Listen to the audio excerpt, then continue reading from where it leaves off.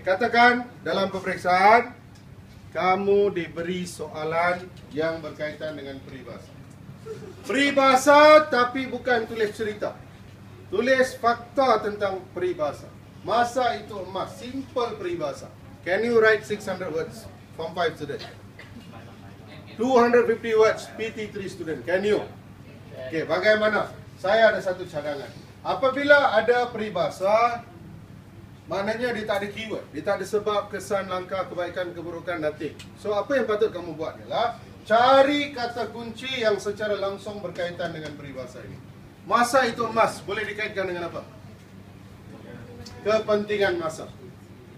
Langkah-langkah mempergunakan masa dengan positif. Sebab-sebab, eh dalam karangan masa itu emas, saya tulis satu perengan sebab-sebab orang suka mensia-siakan masa. Anything wrong?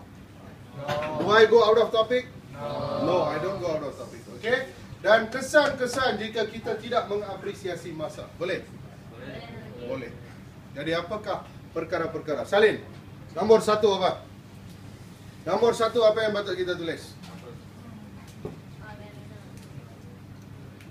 Kepentingan masa. Tulis. Kepentingan pengurusan masa. Nombor satu. Cepat tulis. Kepentingan pengurusan masa. Dan Nombor dua. Nombor dua apa? Langkah-langkah bagi menjimatkan masa ataupun langkah-langkah bagi mempergunakan masa dengan cara yang terbaik. Satu perenggan. Langkah-langkah bagi mempergunakan masa dengan cara yang terbaik. Perenggan kedua. Satu skop kita tulis satu perenggan. Itu maksud saya. Cari satu skop, tulis satu perenggan. Kenapa kita cari sendiri? Kerana soalan tidak ada skop. Okey, nombor tiga. Sebab-sebab sesetengah orang suka mensia-siakan masa. Sebab-sebab sesetengah orang suka mensia-siakan masa. Satu perenggan. Satu lagi. Kesan-kesan buruk, kesan-kesan negatif jika kita mensia-siakan masa. Dengan mudah kamu boleh tulis kesan-kesan negatif jika kita mensia-siakan masa. Sudah berapa perenggan? You, berapa perenggan dalam tangan? Empat perenggan dalam tangan. Boleh tambah lagi? Bolehkah saya tanya soalan seperti siapakah yang Siapakah yang bertanggungjawab? Siapakah yang harus mengajar? Siapakah yang harus mengajar cara-cara pengurusan masa yang baik? Boleh kata boleh? Siapa? Peranan siapa di sini? Ibu bapa nombor satu. Guru-guru nombor dua. So peranan ibu bapa, peranan guru sekolah, one more paragraph siap. Perenggan kelima saya dah dapat.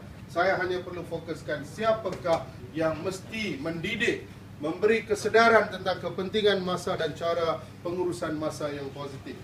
Apa lagi? Bagaimanakah masa harus dimanfaatkan? Apakah cara-cara untuk memanfaatkan masa? Cara-cara memanfaatkan masa. What we should be doing with our time? Contohnya, uh, contohnya uh, masa lapang. Boleh tak saya tulis satu perenggan masa lapang? Karangan masa itu mas. Satu perenggan saya tulis masa lapang, yes or no? Who said no? Mesti boleh. Okey, apa cara untuk mem memanfaatkan masa? Guna teknik BMW saya. B for what? Baca. Lagi. Boleh saya kata sukan? Boleh. Lagi apa? Co-curriculum. Belajar muzik. Belajar muzik. Okey, pandailah tu, pandailah. Pandai. Itu dia punya kelebihan lah tu. Okey, jadi jangan takut tengok soalan kabur. Jangan takut. Tadi kabur, masa itu emas, there's nothing. Now, there's so many things to write. Faham semua? Okey, thank you.